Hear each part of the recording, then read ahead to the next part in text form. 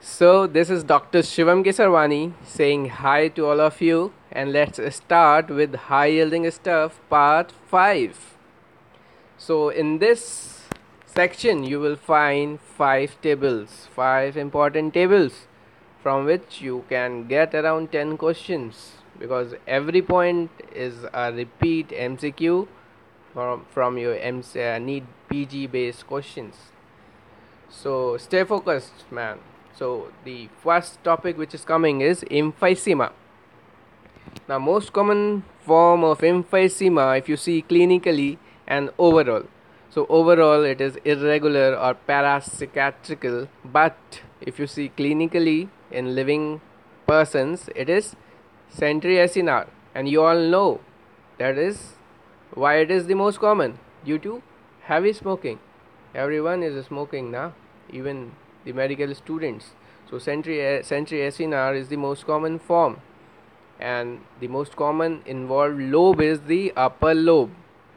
Now if you are being asked by NEET PG examiners that or they frame one question that the patient is presenting with this this this and having means you found that the patient is having alpha 1 antitrypsin deficiency. So this uh, the examiner must be asking you about if it is with emphysema. So it will be panacinar panacinar type of emphysema is associated with alpha 1 antitrypsin and which is most common in the emphysema most commonly seen panacinar in the lower lobes.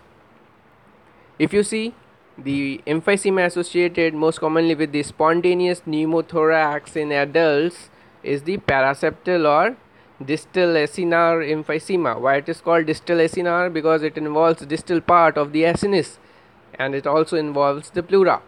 So it, the pleura gets spontaneously ruptures. So most commonly associated with the spontaneous pneumothorax in adults will be paraseptal or the distal acinar. Now the emphysema is over by this means this you know you have known some important points from emphysema and this will suffice for NEET PG.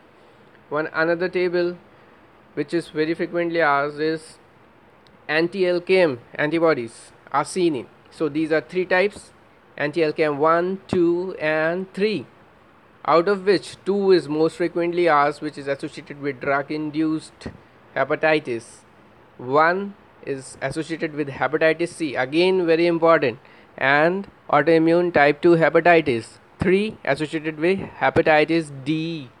Okay now you can see here one egg and the chicken is peeping out of the cracked egg.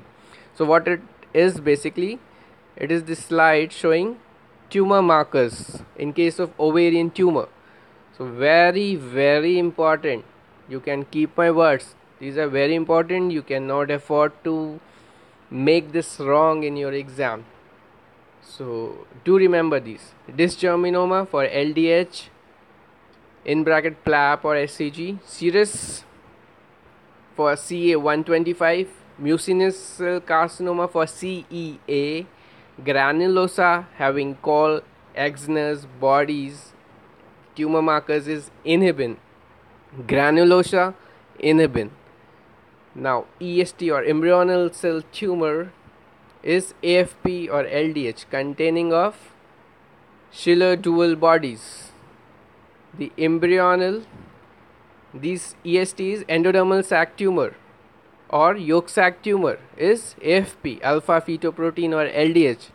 So endodermal sac tumor contains Schiller-Duval bodies how I remember this I can tell you is that in, in this is endodermal sinus tumor. So what you can uh, remember is ki this is very chilled. In the endoderm is chilled and thus the chiller dual bodies just relate it with anything and for the remembering only remember purpose so that you can recall in your exam.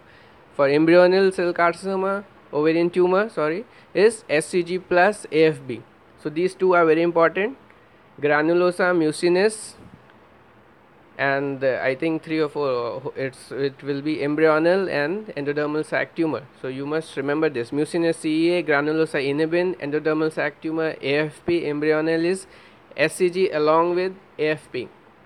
So this completes two tables, two, three, three actually high yielding tables, and I do not want to waste uh, too much of your time. So I am uh, going little bit fast. So Burkitt lymphoma. So three types of mutation or translocations you can see in Burkitt lymphoma. The type type 1 that is the most commonly seen is translocation 814 Q24 Q32 so what it is on 8 chromosome you see the 8 chromosome is common in all the three types so 8 chromosomes is the c-myc c-myc gene and the 14th in the type 1 which is the most common the 14 chromosome that is 814 is the most common so 8 is c-myc and the 14th is igh now the second type is translocation 822 in spite of 814 it is 822 and the third is 828 uh, so the in second type 822 the 8 is c-myc and 22 is igg lam, ig lambda means light chains and in third that is 28 the 2 belongs to igk kappa. So how how you can remember? You can uh, means just revise it frequently so that you remember it. And the very very frequently asked i think the second most important in this chart in this uh, high yielding stuffs part 5 is the Meigs and pseudo-Meigs so they frequently asked what is pseudo-Meigs what is Meigs? So in Meigs ovarian fibroma is the characteristic. Ovarian fibroma along with ascites along with pleural effusion and in pseudo-Meigs you can find any ovarian tumor along with ascites and pleural effusion so you must remember this. What is pseudo-Meigs and what is Meigs syndrome? So i tried to make this uh, this section little interesting by drawing sketching as already the life is boring now. So you might find find it interesting to read.